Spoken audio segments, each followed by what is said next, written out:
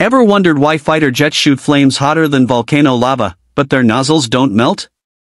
Modern jet engines run at insane temperatures over 1600 degrees Celsius, hot enough to melt steel like butter. So how do fighter jets survive this heat?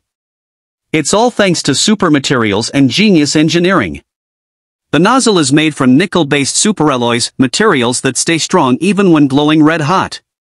Inside the metal, tiny crystals are aligned in a way that stops heat from tearing it apart. But that's not all. Fighter jets use advanced cooling tricks.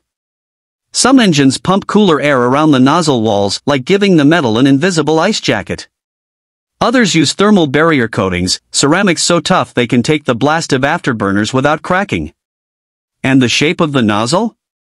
It actually pushes the heat away as the exhaust expands at four times the speed of sound. So next time you see a fighter jet blasting fire in afterburner, remember. That nozzle is one of the toughest pieces of metal humans have ever created.